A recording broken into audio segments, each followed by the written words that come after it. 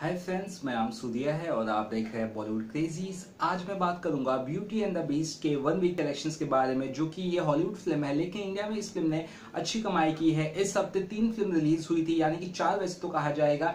एक तो machine release हुई थी ट्रैप रिलीज़ हो गई थी, आगे हीरो रिलीज़ हुई थी मंत्रा रिलीज़ हो गई। मंत्रा काफ़ी छोटी फ़िल्म थी तो मंत्रा की ज़िक्र हम नहीं करेंगे यहाँ पर, लेकिन बाकी जो तीन फ़िल्म रिलीज़ हुई थी मशीन ट्रैप और आगे हीरो तीनों इस हफ़्ते बिल्कुल कमाल नहीं कर पाई। इसके अलावा जो हॉलीवुड फ़िल्म रिलीज़ हुई थी ब्यूटी एंड द बीस्ट। इसने अच्छा खासा कमाल किया था। एमा वॉटसन की फ़िल्म ने धमाल कर दिया था पहले तीनों दिन में, यानी फ्राइडे सैटरडे संडे में, और करीबन दो ढाई करोड़ दो दिनों में कमाई थी, और संडे को भी लगभग ढाई करोड़ तक का ही कलेक्शन था, या थोड़ा सा ज़्यादा था आई मीन तो उसके बाद बाकी जो वीक डेज़ आए तो वहाँ पे एक करोड़, फिर नब्बे लाख, कुछ इस तरह की कमाई हुई है। और थर्सडे की भी अगर हम कमाई की बात करें थर्सडे भी इस फ़िल्म ने नब्बे लाख की कमाई की है, और साथ में फ़िल्म का टोटल जो कलेक्शन देखा जाए एक हफ़्ते के बाद का वो हुआ है ten point four eight crore, यानी कि करीबन करीबन साढ़े दस लाख तक का सॉरी साढ़े दस करोड़ तक की अर्निंग की है, जो कि एक बहुत अच्छी बात है इस हॉलीवुड फ़िल्म को देखते हुए।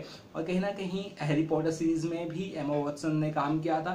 तो वो कहीं ना कहीं ऑडियंस के दिलों में अभी बसती है इंडिया में। और यही रीजन है आई थिंक जो फ़िल्म ने इतना अच्छा कमाल किया है। ये नाइनटीन की आई थिंक अगर मैं गलत नहीं हूँ तो हॉलीवुड जो एनिमेटेड फ़िल्म थी, उसका एक कहीं ना कहीं वी एफ़ वर्जन में बनाया गया था, एक अच्छा अटैम्प्ट है और फ़िल्म इंडियन ऑडियंस ने ही पसंद किया और क्रिटिक्स ने ही पसंद किया है। तो कुछ और बहुत इंपॉर्टेंट खबर पर चलिए तो आपको ज़रूर बताऊँगा। चलिए तक के लिए बाय बाय